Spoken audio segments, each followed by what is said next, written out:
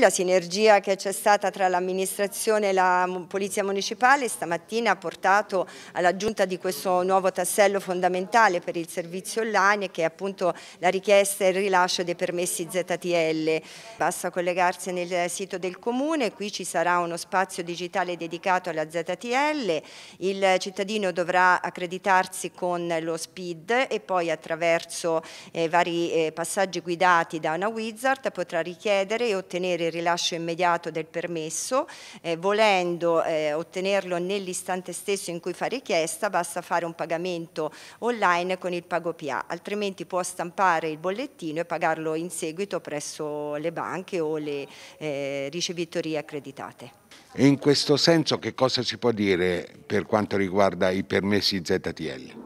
Allora, è importante che il cittadino sia informato che i permessi ZTL, anche quelli che sono in scadenza in questi giorni, eh, sono prorogati fino al 31 di marzo e questo per lo stato di emergenza. Poi eh, valuteremo se eh, il governo deciderà di prorogarlo ulteriormente fino a giugno, comunque certamente fino al 31 di marzo eh, i eh, veicoli con permesso di ZTL che al momento sono scaduti possono comunque ancora eh, viaggiare.